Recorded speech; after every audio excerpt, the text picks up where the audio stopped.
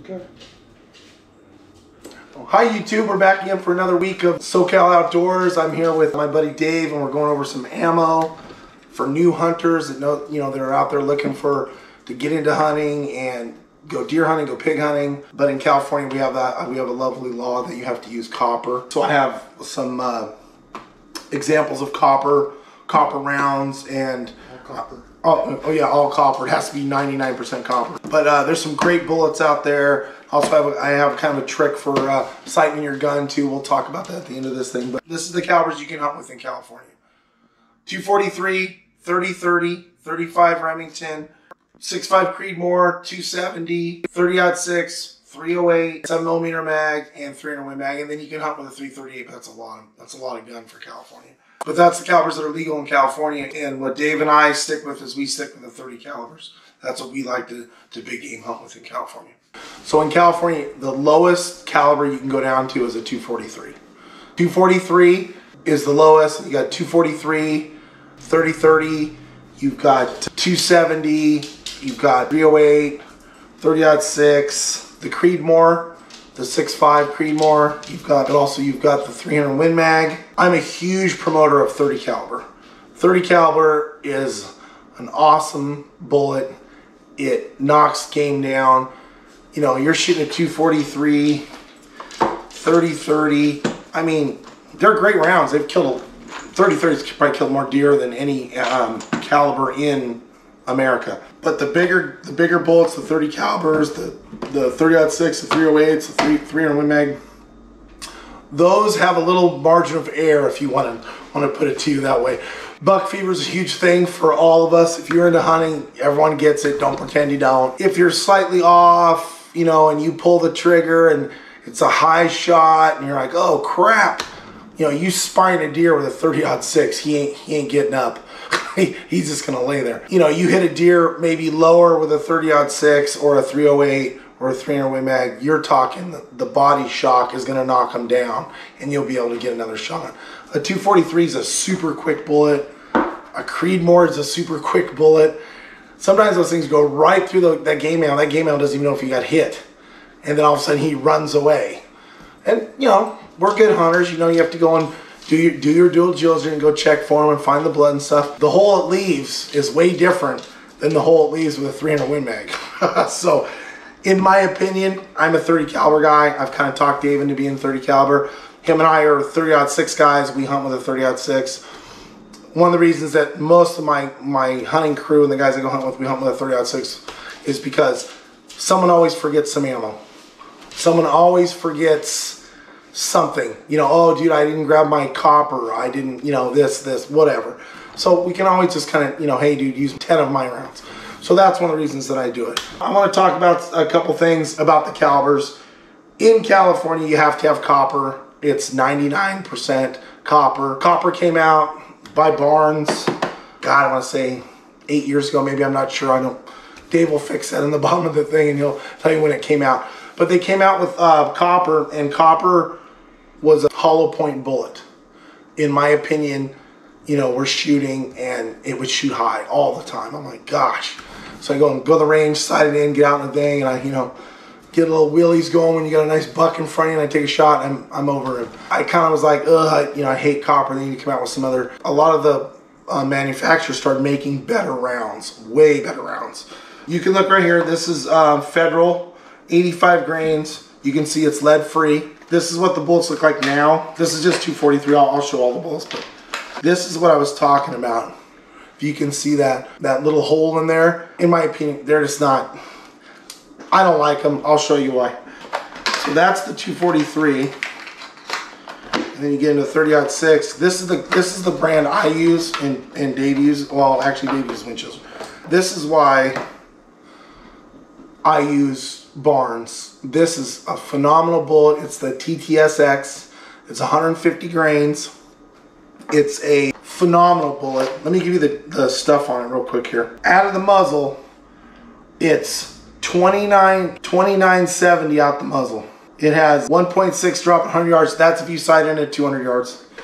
If you sight in at 200 yards, it's dead zero at 200 yards. It's only got a 7 inch drop at 300 yards. It's got a 20 inch drop at 400 yards. So it's a great, it's a great round. I got onto these probably the third year of of the new copper laws, and this is what I use. And it's pricey. It's 50 bucks all day. There's nothing you can do about it. It's anywhere from $43.99 to $51.99. Depends on where you can get it. I use this, like I said, it's the TTSX BT 150 grain. I shoot 150 grains in California with a 30 6, 308, 270. I shoot like a 140 or a 130. I gotta, I gotta look at my box. You don't need a 200 grain bullet. We're not shooting, we're not shooting bucks that weigh you know, 300 pounds like in Wisconsin that have been eating corn all week. A nice buck in California on the hoof, maybe 150. They're mostly like 125, 120. You know, that's why I go with the 50, 150 grain and 30 caliber bullet. So many different brands out there. So this is Federal. This is the new Lever Evolution for my 30-30. I have, I have several. I love hunting with that thing. But it's more for brush country. They call it a brush country gun. But it has this cool rubber tip because you know you load them in the side gate. 140 grains and it's got a, if you sight in at 200 yards, it's accurate. 300 yards, it's got a 12 and a, a 12 inch drop and 100 yards, it's it's it's up almost three inches. So for a 30-30, this is a great round. And like I said, you guys can hunt with anything. I hunt with a 30-06. 30-06 is the main thing. One of the reasons that I like to hunt with a 30-06 is because you can always find ammo. It's really hard when you go somewhere, hey, I'm shooting a Creedmoor or I'm shooting a, a 45-70 because I want to go go big and I go to a, you know the local gun store and oh dude we don't have that you know or they do have it but they don't have the copper stuff that we need in California. So that's kind of the reason so I go with the Barnes. They make a GMX and Hornady for all the rounds. Anything uh, I shoot my uh, Barnes. Love them Dave shoots the deer season copper impact and his is the same thing. 150 grains same thing. It's got it's 29 29 20 on the muzzle basically 50 minus 50 from the, the barnes but it's still a good right and it, another thing too is it shoots good out of his gun that's another thing too when you buy a gun doesn't matter what you buy you go shoot some ammo buy a box go shoot it if you don't like the way it shoots go buy a different box go buy a different company you know i have a 300 win mag and this is the 300 win mag 165 gram trophy copper. So this is basically the trophy bonded Bear Claw and they made it into copper. This is an excellent round. They put the they put the tip on it for me. Thank the Lord. But look at that thing. That thing is just vicious. This is a big bullet. This is a big gun. One of the things with this gun is you need to be comfortable shooting it. I'm a big guy. I don't have a problem shooting it. But it ain't a gun you just snap up and go shoot at someone with. because if you're not holding it right, you'll pay dearly for it. It's part of you. And that's why I like the 30 calibers because a lot of people don't get to shoot as much as that I do or Dave does. And they go the range, so a couple a box of their gun, oh, I'm ready to go. Well, that's good. You can shoot paper from a bench spot. I understand, dude. Hey, tack driving, yeah, at 100 yards or whatever. But you get on the field, man. It's different. It's hot. It's buggy.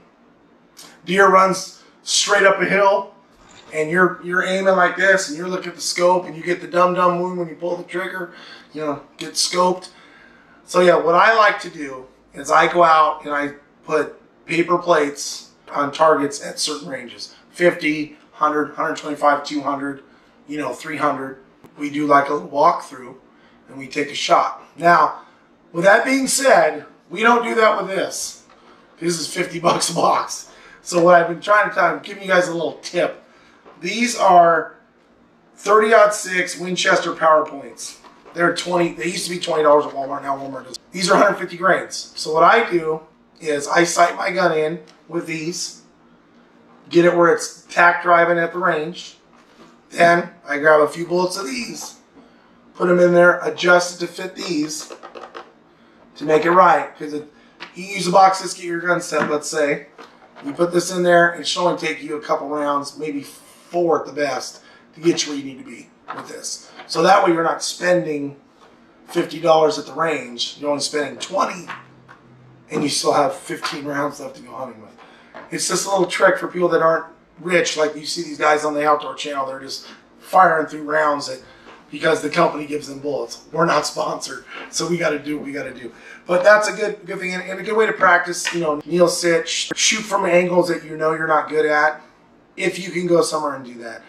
If not, and you're just trying to go out there and go hunting, make sure that you go to the range and sight your gun in and give that that animal the best chance of being harvested with no extra activities, if you will. you know, put the deer down, one shot, one shot, one kill, get it down the ground. And you know, you're gonna, you know, as a new hunter, things are gonna happen. It's happened to me. It's happened to Dave. You know, bad shot. You gotta chase this thing down. I get it. It's but but the best thing you do for the animal is is do your due diligence. Train, shoot, make sure you're ready to go. And I think it'll be great. But this is just what we, in my opinion, we use. The best thing you do after you get all that done is buy good ammo. You know, you can reload and all that other stuff, and that's fine. That's fine if you're good at reloading. Go ahead. But I buy factory ammo because I, I want all that that factory. I want all that you know out of the equation. But they say Barnes makes a great bullet. That's what we have this week. This is strictly any any of these rounds will take a a bear, mule deer, you know, pig. You know, maybe the bigger stuff can take down an elk. Heck, they shoot, used to shoot elk in the in the early 1800s with a 30-30. So you know, you never know. 30 caliber is, in my opinion, the best round you can go with. So when you go look, go, go to the gun store, hey, they got you know Savage, they got this, they got that. Savage, Remington, you know, Tikka, Browning. I mean, there's um, there's hundreds of guns out there. Just pick the one that's comfortable for you, and then pick the right ammo and go out and have a good time. I mean, it's it's a lot of fun once you get into it, and really, if you use your brain sometimes and save some money, you can actually do some more shooting. So that was kind of a little trick I gave you guys on that one. I do that. A lot of people don't don't trust it. If you get your gun sighted in with 150 grains and then go in there and fine tune it to this with five rounds, it's the same thing. And you're not spending $50, you know, every time you go to the range. And you got to make sure your gun's sighted, and this is tried and true every time. Every time you go out in the woods, you got to make sure your gun's sighted in. So make sure you get that thing sighted in, ready to rock, and have a great hunting season. We'll see you next time.